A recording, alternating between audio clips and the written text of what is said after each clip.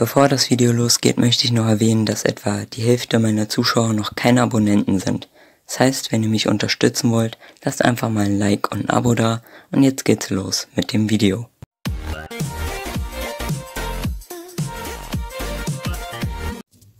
Willkommen zurück zu SFS. Ja, das zweite Kommentiervideo, genau gesagt das zweite von dreien. Ich habe mich doch entschlossen, die Raumstation in drei Teilen hochzubringen. Da das Video 13 Minuten lang ist, ähm, ja, es ist einfach lang genug für ein Video und auch nicht zu kurz. Ich entferne gerade die Teile, die wir diesmal nicht hochbringen werden. Ja, wir werden die Satellitenschüssel nehmen, das Undock-Modul und das Forschungsmodul. Die Satellitenschüssel muss ich leider noch ein bisschen umbauen. Ich habe es nämlich einmal getestet und äh, die Satellitenschüssel war ein bisschen zu kurz. Äh, ich habe einen Bug entdeckt.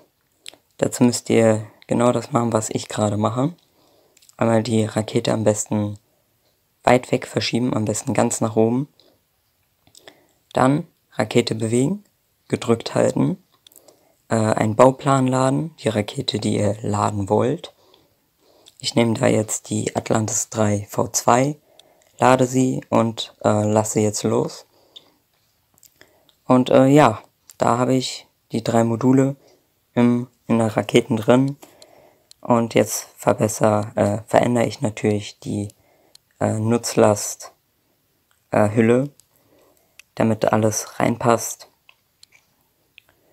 Ja, ich werde das alles zusammen hochbringen, äh, alles in einer Rakete und natürlich auch wieder landen. Wie immer kennt ihr ja. Ähm, ja, ich habe es versucht, möglichst einfach zu machen. Also ich habe hier die Satellitenschüssel genommen, habe sie abgemacht mit Hilfe von der Undock, äh, Undock-Schleuse. Konnte man das ja ziemlich leicht machen. Ich habe es genommen und ganz nach unten gestellt. Allerdings ist jetzt die Hülle ein bisschen zu klein geraten. Das heißt, ich muss sie auf jeden Fall nochmal etwas vergrößern. Ja, das kleine bisschen hat trotzdem noch nicht gereicht. Ich musste noch ein kleines Stück hinzufügen. Aber das weiß ich leider noch nicht. Ich mache das erstmal alles da rein. Äh, markiere es erstmal und mache es dann da rein. Ja, zum Flugverlauf. Wir werden das alles äh, natürlich zur anderen, zum anderen Teil der Raumstation bringen. Und dann werde ich mit der zweiten Stufe die gesamte Raumstation noch etwas höher bringen, auf einen Orbit von 200 Kilometern. Ja, da muss ich nochmal die Hülle ein bisschen bearbeiten. Äh, ich krieg's natürlich nicht ganz hin. Ich habe die anderen Sachen markiert, deshalb muss ich jetzt alles einzeln bewegen. Jetzt nehme ich noch eine Nutzlast, äh, Nutzlastverkleidung, mache die Sachen erstmal da rein und es passt perfekt. Das freut mich auf jeden Fall. Jetzt müssen wir die alle irgendwie noch verbinden. Die sind nämlich nicht mit der Rakete verbunden. Deshalb nehme ich ein paar strukturelle Teile, drehe sie um und befestige, sie, äh, befestige dann die Sachen da dran.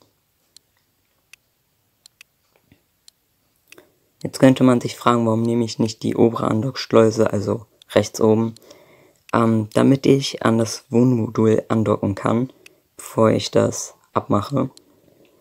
Jetzt teste ich gerade, ob das mit dem Andocken dann noch klappt, mit der Andockschleuse. Und ihr seht, es passt genau. Ich habe keine Probleme damit und ja, fliegen wir los.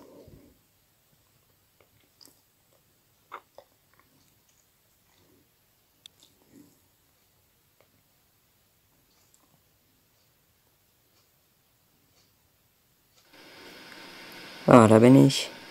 Die Düsen an. Schub auf 100% und los geht's. Der Flug ist derselbe wie immer. Und ja, ich bringe das jetzt zur Raumstation.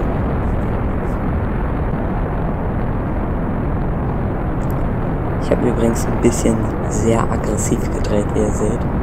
Ich war direkt bei 45 Grad, also in der Ecke vom Bildschirm. Hat sich trotzdem nichts verändert vom Flug. Es hat alles geklappt. Zweite Stufe zündet und wir fliegen weiter Richtung Weltraum. Ich habe schon überlegt, in der zweiten Stufe ein bisschen äh, bessere Düsen hinzumachen, also stärkere Düsen, damit alles ein bisschen schneller läuft. Aber ich mag es ähm, schön effizient. Deshalb habe ich die Frontierdüsen behalten. Ja, und jetzt sind wir im Weltraum. Die Hülle habe ich auch schon weggemacht. Und jetzt versuchen wir einen niedrigen Orbit zu erreichen. Da ist er schon. Äh, ja, jetzt geht's ans Landen der ersten Stufe. Gerade mal 9,2% an Treibstoff ist ein bisschen wenig, aber trotzdem reicht das locker, um zu landen. Ja, jetzt zünden wir gleich nochmal die Düsen beim Wiedereintritt, um uns schnell zu verlangsamen. Es hat genau geklappt und damit bin ich natürlich glücklich. Drei Kilometer Landebeine raus, zwei Kilometer RCS-Düsen an, bisschen drehen und wieder zünden. Ja, der Landeanflug, ich war äh, ziemlich schnell unterwegs und dann wieder langsam und wieder schnell und wieder langsam, aber trotzdem gelandet mit 2,1% Treibstoff. So, jetzt müssen wir das da als Ziel setzen und ja, erstmal den Orbit gucken, wie der so ist. Ich versuche einen ähnlichen Orbit zu machen mit den RCS-Düsen. Äh, hat auch geklappt. Ich musste dann halt nur ewig die Zeit vorspulen.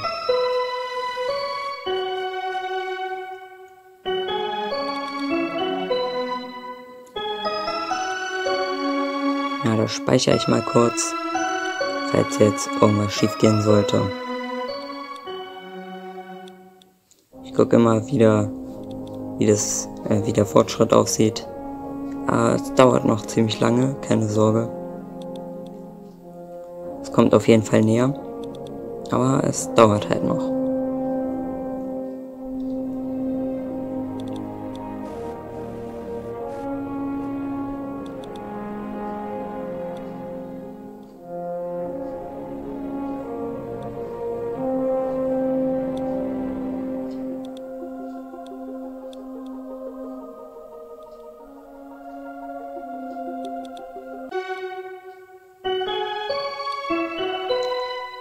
Habe ich jetzt mal kurz einen Cut gesetzt. Jetzt bin ich schon wesentlich näher dran. Ihr seht da diesen kleinen grauen Punkt um mich herum fliegen. Ich warte noch, bis der perfekte Zeitpunkt gekommen ist. Und zwar jetzt. Jetzt stoppe ich, drehe ich und docke natürlich an.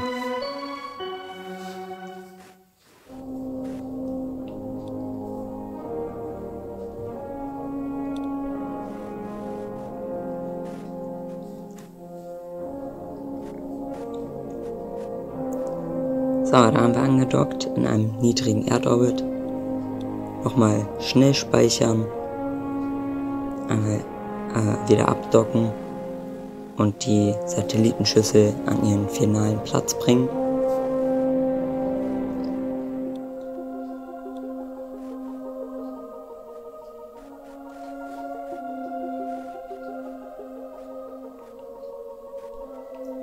So, jetzt ist alles zusammen. Damit ist im Grunde die Folge vorbei. Aber, wie gesagt, ich will das noch an einen etwas höheren Erdorbit bringen.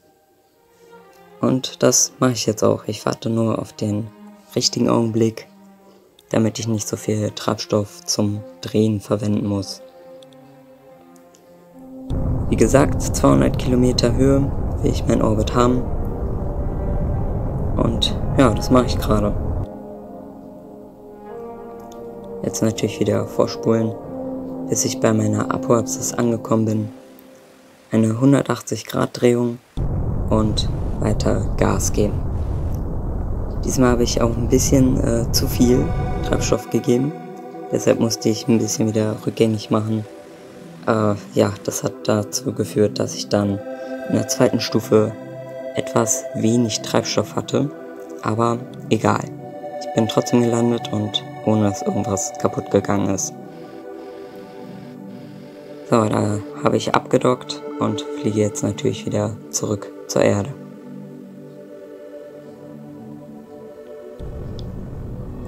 Das strukturelle Teil nehmen wir natürlich mit. Ich will möglichst wenig äh, Müll in einem Erdorbit lassen. Und ja, jetzt könnt ihr auch ruhig mal schimpfen mit mir. Nämlich die Hülle von der Satellitenschüssel habe ich vergessen.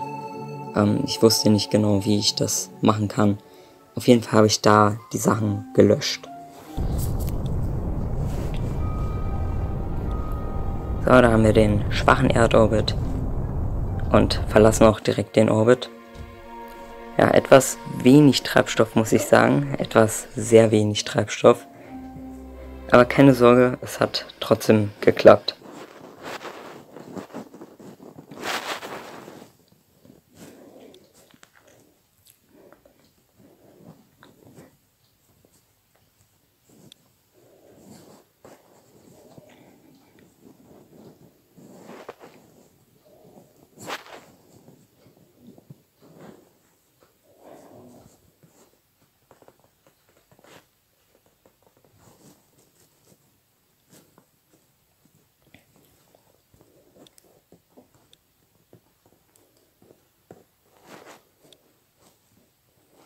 So, jetzt sind wir bei 10 Kilometern angekommen. Bei der zweiten Stufe, wie immer, mache ich erstmal nichts. Erst beim Landeanflug. Die Rakete ist nämlich so klein und leicht, dass ich es auch ohne schaffe. Selbe Prozedur, 3 Kilometer Beine raus, 2 Kilometer RCS-Düsen an, drehen und Landeanflug. Ja, ich hätte eigentlich äh, ein bisschen höher den Schub stellen sollen, denn ich bin nicht so schnell langsamer geworden. Deshalb musste ich kurz auf 100% stellen. Und ihr seht, 0,1%, das ist sehr wenig. Na egal, wir haben es geschafft. Noch die äh, Satellitenschüsselteile entfernen. Und ja, ich habe es auch gelöscht. Wie gesagt, ihr könnt einmal mit mir schimpfen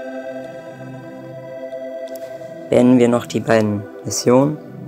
Und ja, dann ist die Folge auch schon vorbei.